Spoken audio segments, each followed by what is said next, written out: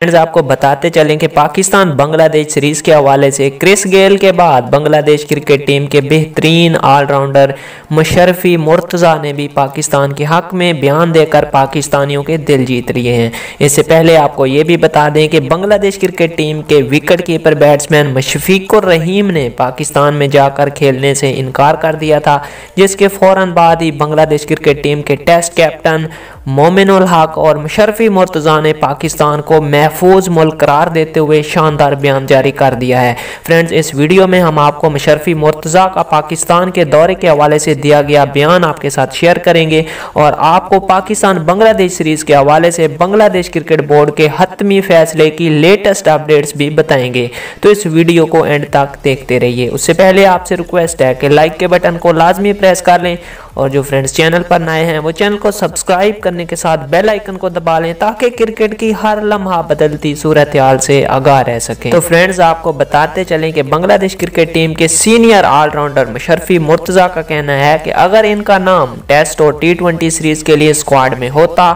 تو وہ پاکستان کا دورہ ضرور کرتے۔ مرتضی کا مزید کہنا تھا کہ میں ایمانداری سے کہہ رہا ہوں کہ میں پاکستان جانے کے لیے اب بھی تیار ہوں۔ تو فرینڈز، آپ کو یہ بھی بتاتے چلیں کہ بنگلہ دیش کرکٹ بورڈ کل یعنی بارہ جنوری کو دورہ پاکستان کے حوالے سے حتمی شیڈول جاری کر دے گا اور بنگلہ دیش کرکٹ ٹیم اٹھارہ جنوری کو پاکستان پہنچے گی۔ تو یہ ہیں اب تک کی لیٹسٹ اپڈیٹس پاکستان بنگلہ دیش سیریز کے حوالے سے۔ اگر اپڈیٹس اچھی لگی ہیں تو لائک ضرور کر لیں۔ تو ملتے ہیں پھر نیکسٹ اپڈیٹ میں۔ تب تک کے لیے تھینکس فار واچنگ